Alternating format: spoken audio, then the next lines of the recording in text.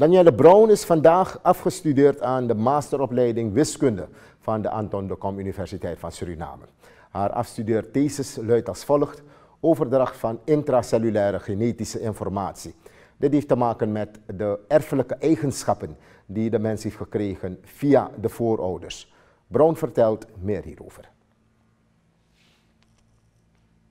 Van de intracellulaire genetische informatie geschiet van cel naar cel. Dat wil zeggen, hij gaat door middel van een celdeling de informatie doorgeven. De cel, je hebt één cel die de informatie gaat doorgeven door celdeling aan de dochtercellen. De ene cel wordt de moedercel genoemd en de twee cellen de dochtercellen. Op deze manier moet de moedercel die informatie overgeven aan die dochtercellen. Maar tijdens het proces kunnen bepaalde zaken mislopen waarbij de genetische informatie gaat verschillen. Dan praten we van afwijkende cellen. Deze afwijkende cellen kunnen ziekten, ver, kunnen ziekten veroorzaken of ziekten kunnen hierdoor ontstaan. Een mooi voorbeeld hiervan is kanker.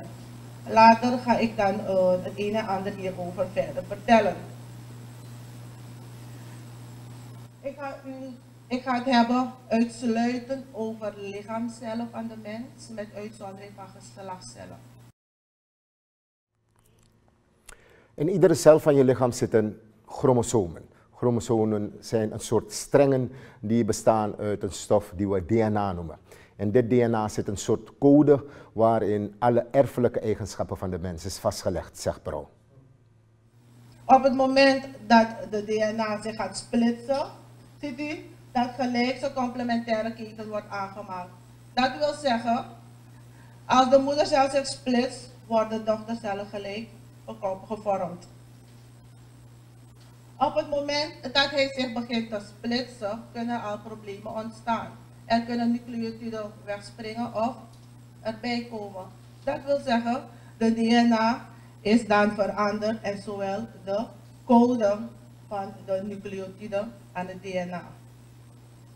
Als we kijken, als een, zo'n koppeling verandert, wil dat zeggen dat hij dan anders gaat functioneren, omdat hij zijn code niet meer kent.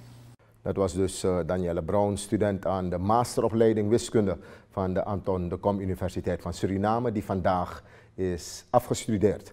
Haar afstudeerthesis luidt als volgt overdracht van intracellulaire genetische informatie.